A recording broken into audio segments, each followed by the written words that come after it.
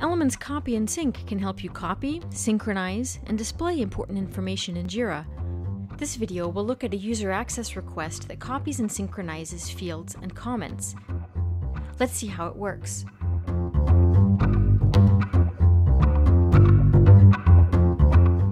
We're going to show you how you can copy and synchronize fields and comments in Jira Service Desk.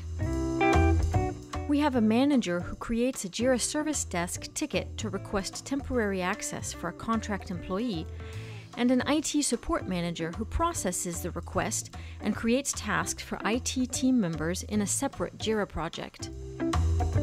In our simplified service desk, the manager creates the request for building an app access and adds the start and end dates for the employee's contract.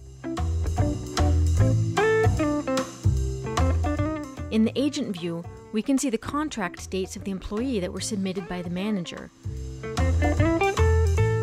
Now the IT support manager is going to use the Elements copy and sync operation grant user access to create the first linked issue. Several fields have already been set by Elements copy and sync to simplify things for us. The project, the issue type, and the contract dates. We'll just need to add the summary and create the issue. Back in the original issue, we can see that a linked issue has been created for the building access we needed. Let's repeat the process to create a second linked issue for the website access.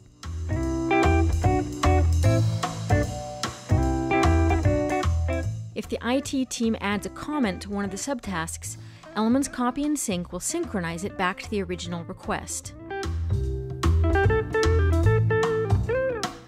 Here we're back in the IT project, and the IT team member Ben is going to add a comment because there were no more parking badges. This comment is synchronized with the original request and visible to the manager on the customer portal.